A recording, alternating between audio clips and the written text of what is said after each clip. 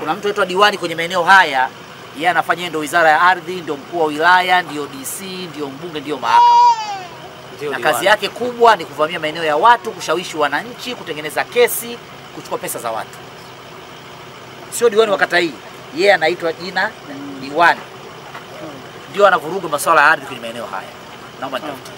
Sawa, mwenyekiti wetu wa mtaa, alafu na wajumbe wako wa serikali, mtusaidie kumpa taarifa OCD hapa Kaimu. Huyo bwana ikifika Jumatatu au amefika ofisini kwangu. Sawa, na OCD akifika Jumatatu huyu anayejiita diwani au amefika ofisini kwangu Labda saa mbili asubuhi. wa Mungu nilisema nifike ili nione kazi kubwa ambayo mmeifanya. Najua umenijulisha pale kwenye mkutano, umenijulisha wakati mwingi, na mkuu wa amenijulisha kwa kazi imefika maeneo mazuri, lakini sana mimi nifike ili nione ile kazi ambayo imefanyika, ili napoulizwa na wakubwa ndio na jibu ya msingi ya kazi imefikia. Jamani, nawashukuru sana. Labda mheshimiwa mbunge, kama una kitu kusema. Ah, mimi nikushukuru tu, nikushukuru tu. Mheshimiwa Waziri kwa kuja. DDC ndio mgogoro mkubwa kuliko yote huku Mapepande, almost eka elfu tano ambazo zina comprise kutoka Mapepande mpaka Msumi zinaingia mpaka kwa Isa kule kwenye jimbo la Isa. Kwa kusovu hii tumesovu mgogoro mkubwa kuliko yote ya Mapepande. Hawepo kuna ile midogo midogo kama NSSF pale. NSSF pale ni kwamba walibaini kwamba ni eneo la NSSF wakawabomolea wananchi. Okay? Half of the recent amekuja mtu mmoja Karamagi ambaye eneo lile walilowabomolea wananchi wakifikiri ni NSSF la Karamagi, anasema nataka eneo na wengine waishawaroketi watu kwa the, the issues kwenye kliniki yetu ile kila kitu kitaenda vizuri, so I should thank you for the clinic kusema I kweli will- I come. ita, ita, ita, ita so mambo mengi. Adhanzi nikushukuru sana. Asante sana. Asante. Mheshimiwa diwani. Asante Mheshimiwa Waziri, na mimi ni niungane na mbunge wangu kukushukuru. Haikuwa kazi rahisi kwa mgogoro huu kuisha. Tunafahamu kwamba kazi za ardhi zote ziko chini ya mikono yako, na haya ndio maelekezo yako.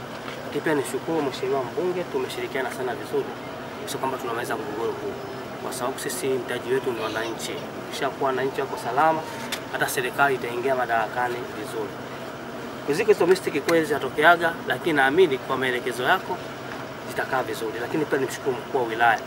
Mkuu wa wilaya huyu tangia aje, mgogoro imeisha sana, kama alivyozungumza mbunge. Mgogoro mkubwa hapa ulikuwa ni DC, lakini kuna midogo midogo pia tumeimaliza kwa kupitia wizara. Hata sasa hivi tuko kwenye utekelezaji, wananchi wanalipa kwa asilimia ambayo tumeweza kukubaliana. Mkuu wa wilaya amekuwa ni mtu wa kutumia busara, sio nguvu. Unajua viongozi wengine wanajua nguvu ndio kila kitu, lakini sio kweli. Vitu vingine katika busara na sheria. Kwa hiyo mkuu wa wilaya huyu amekuwa ametusaidia sana, na mimi naamini kwamba mpaka 2020 tunamaliza hii, basi migogoro itakuwa hakuna, na naamini hata hii kliniki ambayo unakuja kuifanya basi itakuwa pia ni tiba mbada au kuomesha tiba ambayo ya kumaliza mgogoro. Lakini pia mshukuru mbunge, amekuwa kipaumbele sana kuwatetea wananchi, kisha kwamba anakuwa na makazi kwa salama. Huku kuna shida sana kwamba kuna wananchi wengine wameuziwa, wengine wamevamia. Sasa wale wamevamia huwa hawakubali migogoro iishe, kwa sababu ndio sehemu ya maisha yao. Lakini kuna watu ambao wameuziwa, wanahitaji migogoro iishe, waweze kuishi. Kwa hiyo hapo mwanzo kwanza tusumbua kidogo, baadaye tukasoma hilo. Kwa sasa hivi tuko vizuri, tunashirikiana na serikali kama viongozi wa jamii, tunamaliza migogoro. Mimi cha zaidi niseme ni kushukuru, asante. Jamani, wito natoa wito natoa wito kwa wananchi wa jimbo la Kawe na wilaya ya Kinondoni.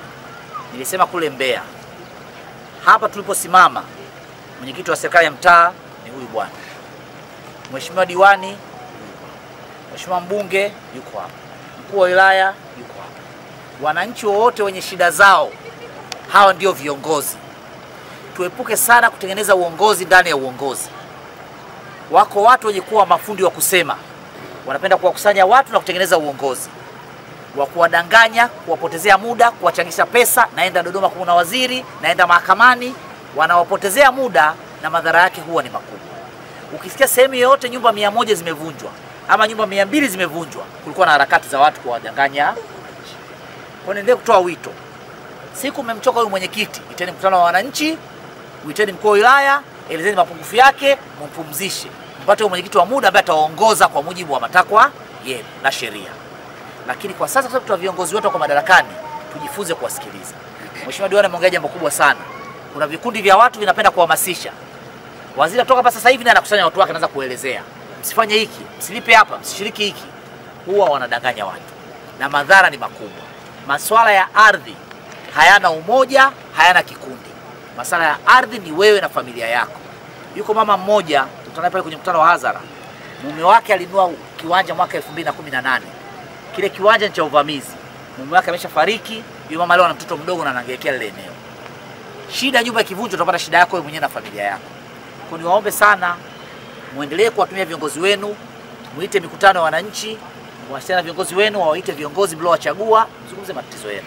Hawa watalinda maslahi yenu. Na kwa niaba ya serikali, mkuu wa wilaya yuko kwenye wilaya ya Kinondoni. Mmemsikia mheshimiwa diwani anafanya kazi nzuri sana, mumtumie mtumie na mpende kusikia yale ya haki, msipende kusikia yale ambayo yanawafurahisha, mnapenda kuyasikia. Tukifanya hivyo, migogoro ya ardhi itaisha kwenye jimbo zima la Kawe na wilaya ya Kinondoni. Lakini mimi tarehe 19 kama msema mheshimiwa mbunge kwenye kliniki pale, msema mheshimiwa diwani, tutamaliza kwa DDC. Ah, Asante, asante Mheshimiwa Waziri. Sisi BDC niseme kwamba tunashukuru sana Mheshimiwa Waziri kwa kutembelea sehemu hii ambayo eh, shirika la DDC lina shamba. Tunashukuru kwa jinsi serikali ambavyo niseme imesimamia zoezi zima la kutatua mgogoro huu. Kimsingi ni kwamba mgogoro haupo kama vile ambavyo tayari serikali imeelezea. Sisi tunakushukuru sana, tunashukuru serikali Ah, niseme wananchi tumeshawapangia kwa kupitia wenzetu hawa wa Kinondoni, tayari mgogoro haupo. Asante sana.